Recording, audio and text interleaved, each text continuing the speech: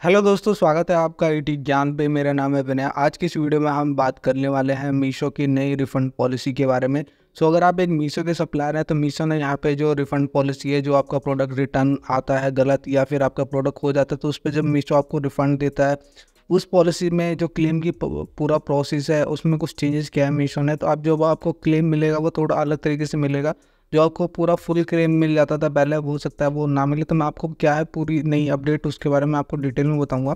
तो सबसे पहले आपको नोटिस सेक्शन में आ जाना है, मीशो सप्लायर पैनल के नोटिस सेक्शन में। और उसके बाद यहाँ पे जब आप नीचे की तरफ़ स्क्रॉल करोगे तो आपको यहाँ पे ये देखने को मिल जाएगा।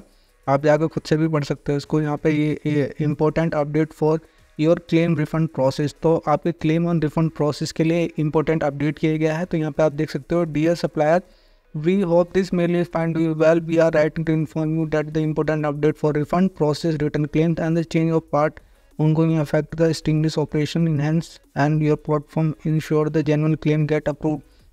So so, यहाँ पे जो प्रोसेस है उसमें कुछ चेंजेस किए गए हैं और जो जेनुअन क्लेम है वही अप्रूव होगा तो यहाँ पे आप देख सकते हो क्या चेंजेस किए गए हैं तो वाट चेंजेस तो इफ़ेक्टिव टुडे मतलब ये आज से ही लागू हो जाएगा मतलब ये 24 जून 2024 का जो है अपडेट है तो यहाँ पे आप देख सकते हो we will only refund the fair price of product calculated मतलब पहले क्या होता था कि मीशो जो है वो पूरा पूरा रिफंड दे देता था तो अब आपको शायद ऐसे देखने को ना मिले। अब आपके जो प्रोडक्ट का फेयर प्राइस है वही आपको मिलेगा और ये कैलकुलेट भी खुद से करेंगे। तो अगर आपका प्रोडक्ट दो सौ रुपये का है तो हो सकता है आपको दो सौ की जगह डेढ़ सौ रुपये या फिर सौ रुपये ही मिले। तो इस तरीके से ये खुद से कैलकुलेट करेंगे कि आपको कितना रिफ़ंड मिलना चाहिए।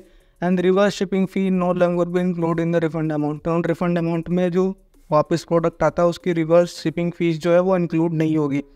What does this mean for you मतलब इसका मतलब आपके लिए क्या है? तो refund amount moving forward the refund amount you see in supplier payment panel is reflect only the fair price मतलब अगर सप्लायर पैनल के अंदर जो आपको रिफंड आपका अप्रूव हो गया और जो अमाउंट आपको दिखेगा, वो सिर्फ़ वही अमाउंट दिखेगा जो कि आपका प्रोडक्ट का फेयर प्राइस है अकॉर्डिंग टू मीशो मतलब मीशो के हिसाब से आपका प्रोडक्ट का जो फेयर प्राइस है, वही आपको दिखेगा। And the reverse shipping cost not भी इंक्लूड मतलब रिवर्स शिपिंग कॉस्ट इसमें इंक्लूड नहीं होगा। वाट वाट दिस चेंज मतलब क्या चेंज हो जाएगा? तो this adjustment is design for improve the sustainable for your return process we believe this change will be enhance the overall health of your our platform allowing us to continue provide the competitive market base for the all suppliers मतलब इससे क्या होगा कि एक fair price जो है, इससे मीशो को फ़ायदा होगा क्योंकि मीशो पहले रिफ़ंड देता था और इससे प्लेटफॉर्म को फ़ायदा होगा जिससे कि कंपटेटिव मार्केट प्लेस की तरह ये करेगा काम।